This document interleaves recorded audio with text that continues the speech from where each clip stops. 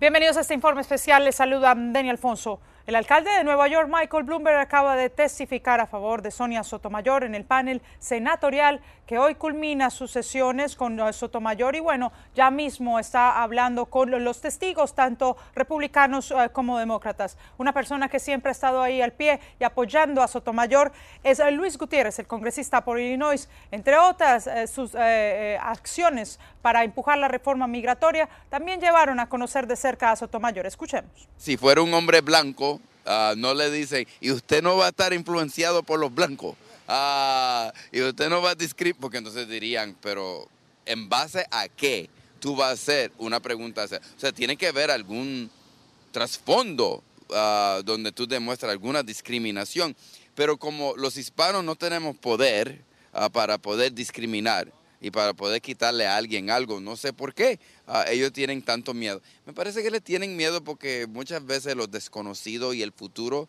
a la gente tienen miedo a, darle paso a ese futuro. Pero está eminentemente cualificada y yo creo que en este caso pues será confirmada. Y espero que nos vamos en dos semanas, que la confirmación se haga lo más rápido posible. Importantes opiniones del congresista Luis Gutiérrez. Ustedes ya saben que pueden visitarnos en nuestra página en internet, el www.hitn.tv, diagonal Facebook Interactiva, la información 24 horas. Nos vemos usted y yo en el próximo informe especial. Gracias.